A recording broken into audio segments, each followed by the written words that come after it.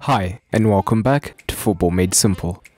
One Europa League, one Super Cup, 11th twice, 9th, 10th, 7th three times, and 4th twice in the league.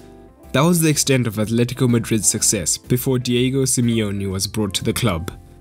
Since then, Atletico haven't finished below 3rd in any of his full seasons, in addition to winning 6 major trophies. But how has El Cholo achieved this success? In this video we take a look at how Simeone transformed Atletico Madrid. Just before we get into that though, if you're new around here, I'd appreciate it if you liked, commented and subscribed. If you want to see more match reviews, player and manager profiles, and so much more. Drop video suggestions below or tweet at Football Made Simple. Now, let's get into it. And if you want to keep up with Simeone, Atletico Madrid, as well as any club across the world, a great place to do so is OneFootball, which is today's video sponsor. Be sure to download it through the link in the description to support the channel. Now, let's get into it. Simeone had been a top level midfielder during his career, representing Atletico Madrid over two spells, as well as other top clubs such as Inter Milan and Lazio. But in 2006, he hung up his boots to become a manager, starting in the Argentinian league. He went through some tough spells amongst the six teams he managed, however overall he was a success, winning two major trophies. He had a brief spell with Italian side Catania, but it was when his former club came calling that everything changed. Atletico Madrid had enjoyed a new lease of life under Quique Sanchez Flores, winning the Europa League and the UEFA Super Cup, but still only finishing 7th in the league. But under new manager Gregorio Manzano, Atletico Madrid struggled heavily, and in fact, by the time he was fired, Atleti were only 4 points above the relegation zone and averaging just 1.18 points per game, whilst only scoring 1.44 goals per game and simultaneously conceding 1.69 goals per game. Simeone's impact was instant and was a sign of things to come. In his first season, Simeone didn't alter the existing 4-2-3-1, not wanting to make too many changes at the same time. Instead of focusing on the formation, he dealt with the mentality and the actual playing style. The traces of his playing style were beginning to be prominent, with the team now being more compact in defense and depending on quick counterattacks when going forwards. Radamel Falcao was at the peak of his powers in his centre forward role. He had the ability to hold up the ball played long to him, to allow Diego in attacking midfield to join him, or to give the team time to progress up the pitch. However, Falcao also had outstanding movement, meaning that he could probe for gaps, waiting for a more direct pass in behind. With a combination of defending solidly and having a world-class forward, Simeone led them to a 7-match unbeaten run to start off with. The Falcao dependence was shown, with him having over 3 times more goals than their second top scorer. Looking at the table after Simeone took over, Atleti were only behind Real and Barca, now averaging 1.68 points per game, scoring less with 1.36 goals per game, but crucially only conceding 0.86 goals per game, a theme that would continue. This season culminated in Simeone leading them to the Europa League and finishing 5th in the league, their highest finish in over 3 seasons. 2012-13 saw Cholismo in full effect. He knew the physical demands of his playing style and brought in fitness coach Oscar Ortega. He also got rid of key players in Salvio, Dominguez, Pacheco, and Diego returned to Wolfsburg after a loan. He didn't have much to spend, a common theme in his early days, but brought in Insua and brought back Diego Costa from loan along with Raul Garcia. Simeone focused on establishing a physical spine to suit his intentions. Courtois continued on loan, and the formidable Godin and Miranda partnership became permanent. Suarez and Gabi played in behind Falcao and Diego Costa. Atleti often gave up possession, only having 48% of the ball, but they still conceded the least goals in the league with just 31. This was because of the defensive system they chose to implement. They also only took 13.2 shots per game, but took the highest percentage from inside the box.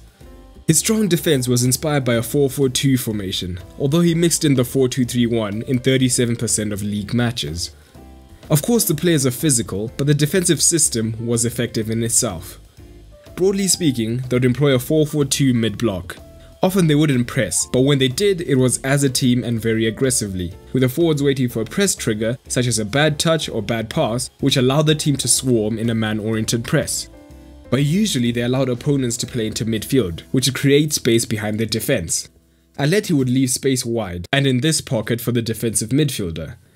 If the opposition played the pass into the pocket, Atleti would spring their pressing trap, closing off all options and winning the ball. But because Arda Turan and Koke would both rather be in the centre of midfield, they tucked in, allowing space wide. As soon as the ball did go wide, Atleti's lateral press cut off all options, and the touchline acted as an extra defender, so they'd often win the ball here. And naturally, a counter would be launched down the wing and towards the box. The strength of Juanfran and Luis meant that Atleti were comfortable leaving them in 1v1s against the wingers, which allowed Turan and Koke to tuck in. But when opponents did get high up, the two banks of four would often fall all the way into the box to increase the odds of winning the ball when the cross came in, and Miranda and Godin's aerial presence suited this. Their press was intense, they had the most tackles per game and conceded the least shots per game, and their deep block meant that they conceded less than a goal per game. Falcao was still comfortably their top scorer, but Diego Costa was Simeone's ideal forward and began to have an impact.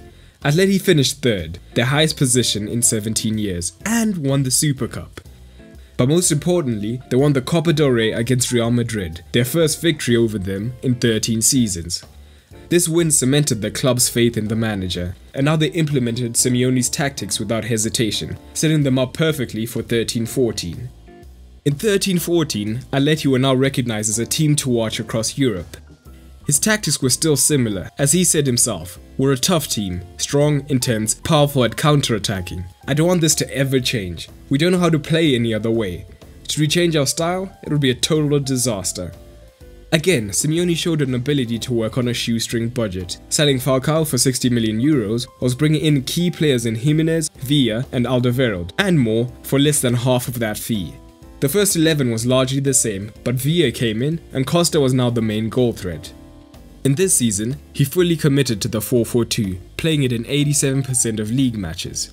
He used a similar defensive mechanism, but we saw an increase in goals for the team. As previously discussed, Turan and Koke would both rather play central, which is key. Quick transition are at the core of their play, so even in controlled possession, they look to advance the ball into midfield as quickly as possible, whether through long balls straight to the forwards or direct short passes into midfield. Atleti only averaged 26% of their time in their own defensive third as a result. But Gabi would often drop deep to receive the ball. At the same time, Turan and Koke would both tuck infield, forming a 4-2-2-2, allowing both Luis and Juan Juanfran high, who are both crossing threats. So, the opposition winger would often be drawn to the Atleti midfielder, who could also drop deep to create a space here. Villa's movement meant that he could often drop as well to create a 2 versus 1 here where they could work across into the center, Atleti often looked to overload the box in these phases to help their odds, with the wingers joining the two forwards in the box. But they weren't afraid to be direct either, with Villa often receiving the ball long to turn and play Diego Costa in. Due to their physicality, they were also always strong at set pieces under Simeone, scoring the second most in the season. Costa was key, stepping into Falcao's boots seamlessly, whilst Villa also contributed. Koke's creativity from the right was crucial to them once again, the season culminated with Atleti effectively winning a playoff against Barcelona to win the title, a semi-final appearance at the Copa del Rey, and a painful loss to eternal rivals Madrid in the final of the Champions League.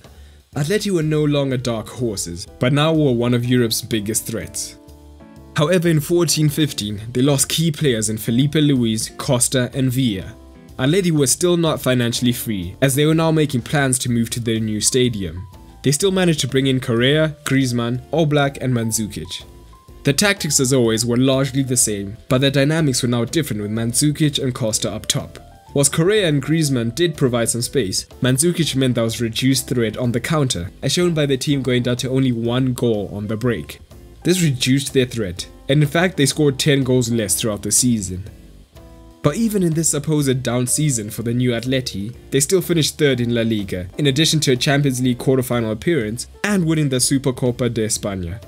Again, Simeone's tactical acumen was shown, with Griezmann and Mandzukic almost exactly replacing Costa and Villa's output. But it's interesting to note that in the following seasons, Simeone was not perfect in the transfer window. From 15-16 going forward, the La Liga TV rights deal was altered so that each team got an even share of the pot, as opposed to the old model which gave Real and Barca 90% of the revenue. The increased revenue didn't automatically equal a higher caliber of transfer, with Jackson Martinez, Vietto, Gameiro, Gaitan and Vitória all being brought in for over 20 million euros each to limited effect. Despite this, and continuing to lose key players like Rodri, Griezmann, Hernandez, Carrasco, and more, he has kept them at the top of their game. They haven't finished below third in the league and reached another Champions League final, again losing out to Real Madrid on penalties this time. By sticking with Simeone's tried and tested tactics and pushing through periods of apparent staleness, he led them to a Europa League win in 17-18 and a Super Cup win in 18-19. All of this means that in his six and a bit seasons of managing the club, the side have won six major trophies and reached two Champions League finals. It's not just the results on the pitch that have been impressive. Several teams have struggled when moving from one stadium to the other, but Simeone has seamlessly led the transition from the Vicente Calderon to the Wanda Metropolitano without a problem, finishing second in both seasons at the new stadium, whilst winning two European trophies in that time span.